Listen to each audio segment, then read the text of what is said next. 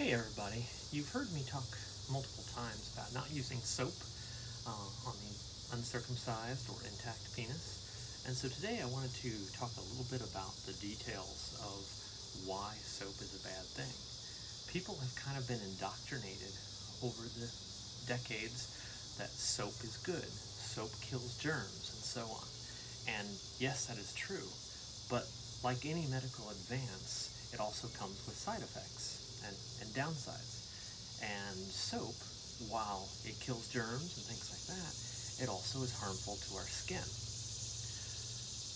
One of the things that I found in doing research on the topic is that dermatologists will talk about people that have acne problems, washing their faces and things too much, and they make the problem worse they're trying to improve it. They think, oh, my skin is dirty, it's oily, I need to keep it clean. And the more they keep it clean, the worse it makes their problem. It, it damages the skin. And it's exactly the same case. Soap is also damaging to the skin.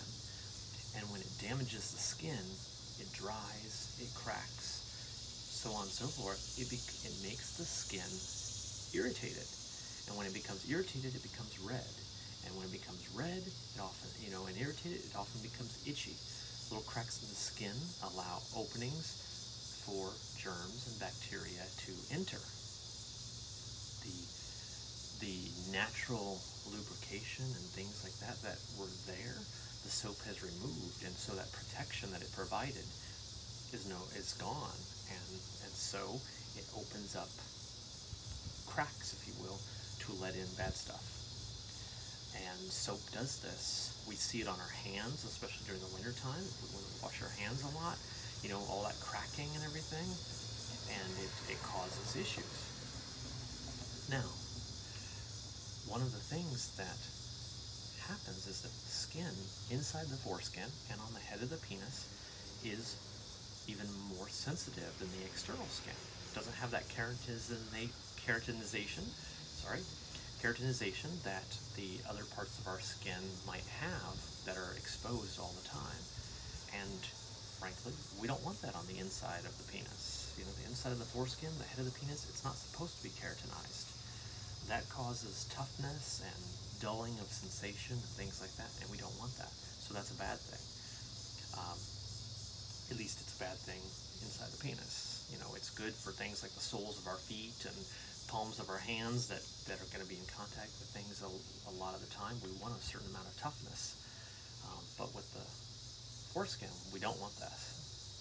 And this is what happens to guys that have been circumcised is the head of their penises gets a little tougher, gets that layer of keratinization on it. Now, the other thing that soap does, as, in addition to harming the skin in this way, is that it also changes the pH level when it changes the pH level, it actually creates a more favorable environment inside the foreskin to the odor-causing bacteria.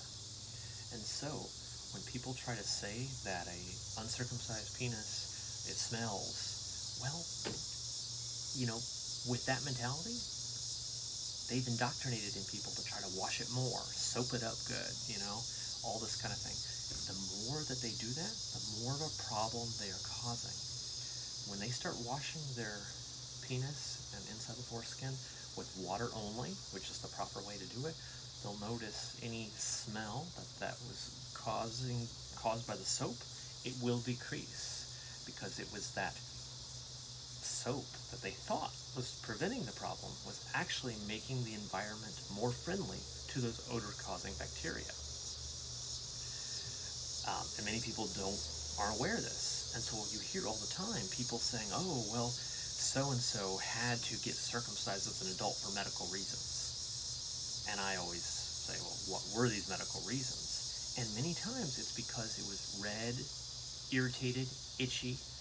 And they'll say, well, but he kept it very clean. He was very clean. He would, you know, wash two or three times a day. Ah, and I'm like, aha, that's the problem. They were soaping it up. And the more that they thought they were trying to help the problem, the worse they were actually making it.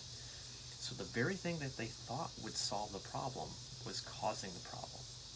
And often when people find that If they stop using soap there, those irritations and things like that will go away. But people don't do that. Sometimes when you tell people you should be rinsing your penis with water only, they're like, ooh, that's gross, that's disgusting. No, it's not. That's how it's supposed to work. We don't soap up the insides of our eyelids, you know, and no one says, oh, your eyes must be filthy. No, it's the same thing with the penis. But like I said, people have gotten so um, indoctrinated with this idea that must use soap and water to clean that the idea of not using soap on their penis is unthinkable to them. And that's what we need to try to get people to realize is using soap in there, it's causing the problem. It's not the foreskin's fault. It's because people don't know how to just leave it alone. Rinse it with water only. And of course we're talking about for an adult. Um, who is retractable, not a child where you should never even retract the foreskin at all. We're talking about an adult who is retractable. You know, rinsing with water only. Soap changes the pH. Soap damages the skin. And these two things together, that is what causes these problems that people claim they need to be circumcised for. So, let me say it once again in case it's not clear. You do not need to be circumcised. Just stop using soap on the head of your penis and inside the foreskin. It's not needed and it is causing problems. Now, there are people who will say, well, I've been using soap for years and it doesn't bother me. Well, you know what? People have different levels of sensitivity. And if the soap hasn't bothered you yet, well, you know, that's good. Stop before it does.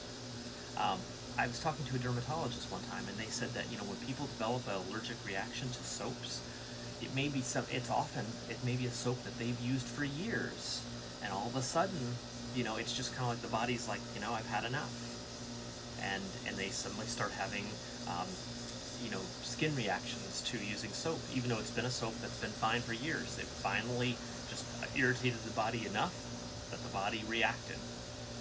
Uh, so just because it's never been a problem doesn't mean it never will. So stop now before it does cause a problem.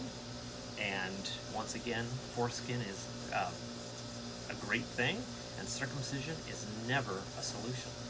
There's no need for circumcision. Remember, rinse with water only, never use soap inside the foreskin.